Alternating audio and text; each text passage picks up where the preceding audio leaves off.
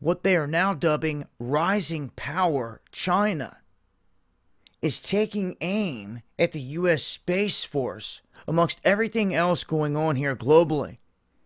They're now targeting the U.S. Space Force and they're saying that they're deeply concerned about all this going into motion. Meanwhile, they are on the backside of the moon.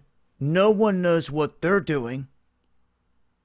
They have a lot of different missions ongoing with the moon and with space altogether, but they're trying to say that this goes out of bounds in terms of trying to keep the peace and, and trying to keep space a peaceful domain.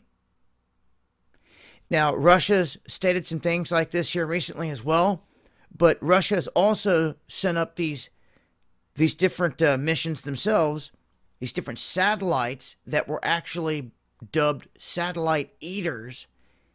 They were satellites that would go up and start to eat the metal or eat junk in space, Russia said.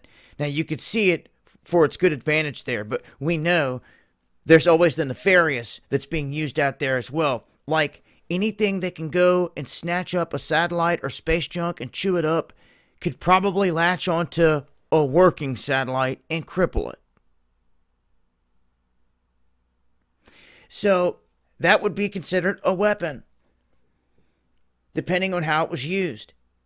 And things are really starting to heat up in terms of space and where all these countries are taking this. But this is the latest with China barking back at the United States, targeting the Space Force here.